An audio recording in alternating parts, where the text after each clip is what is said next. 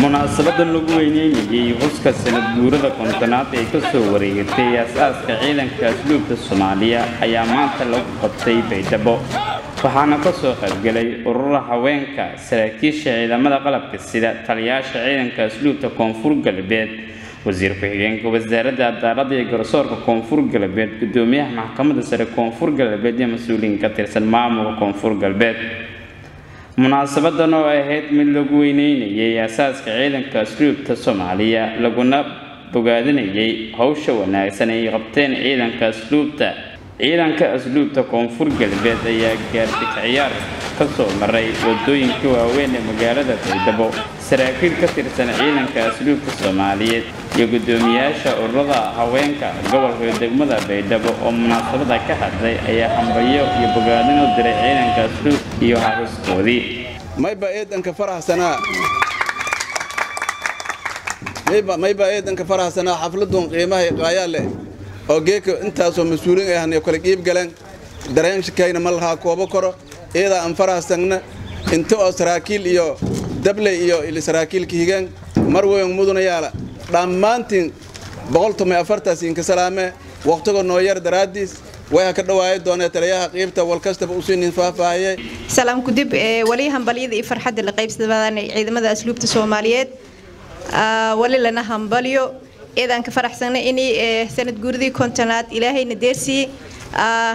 jiilkii mades qayb ku nagda inay hambalyadaas dirna una ku qayb nagan.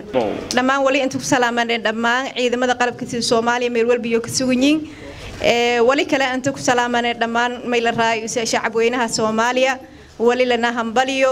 wali ilaahay nabadnii deersiyey. Sanad guuridii kontonaad ciidamada qalabka sida khaasatan mayla raayo ciidamada asluubta soomaaliyeed way bactiina ciidamada soomaaliyeed ku mudata asluubta laakiin wal kale la jara. Way la jare walba wal halaya la siinsheene walba meeray dhibaato suubaa la siinsheene haddii walaasan haytaan hada lahayna may magaalada meelisha marfada male kii wal dil leen meel kaay leen hayna kii wal aase meel kaay lahayna kii tuga meel kaay leen lahayna may la ray meel mar lahay male. Taliyaha ciidamada asluubta koonfur galbeed gaashaanle sare aadan ali axmed dhiigi birig ayaa ka hadlay xaaladda habsiyada ka jira dowlad walaadka koonfur galbeed iyo degmooyinkeedii. Aslumaylanjeedii dhaqan toosiska low lafdhabarka ciidanka asluubta dowladda way. Maalintan maalintii oo ciidamada galabka sida meelwelba roogan unu ku salaamani waay mar lamaa dadka dhaqan eliyaay mabiista walwalba toosiyaay walilanka idiaadisi awshi hakaasi kii dadadil kii oo oo al-shabaabe dacash ayu noo walwalba dadka toosiyaay ciidanka asluubta geeka inta may ku salaameey gudoomiyaha gobolka gudoomiyaha degmada oo hafladda waxaan ku qiibgalin lankaan ka. Qiibgalin salaamikii ka qiibgalin welcome hardhawaaw dhanka kale wasiir ku-xigeenka wasaaradda cadaaladda iyo garsoorka maamulka koonfur galbeed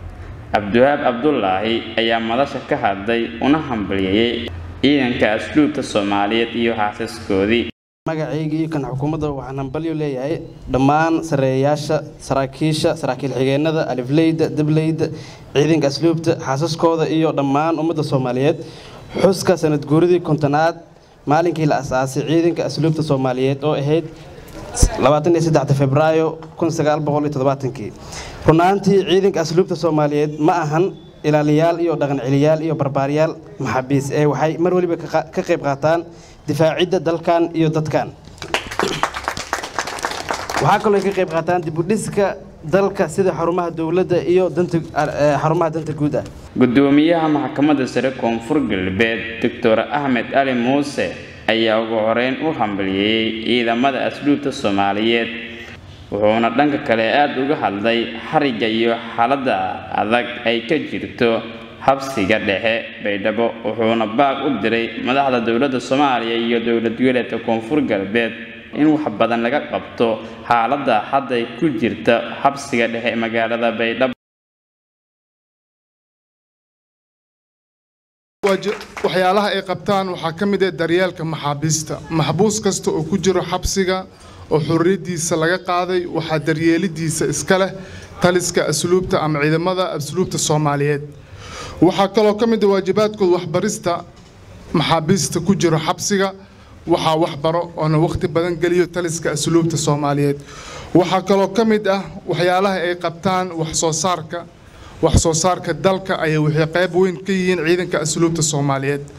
Waxaa kaloo ka mid ah inay ka shaqeeyaan ama ay leeyihiin hanti maguurto ah oo ayaga ay leeyihiin sida beeraha iyo daaraha ay leeyihiin ciidanka asluubta soomaaliyeed. Marka waa dareemi kartaan ciidan wax soo saar leh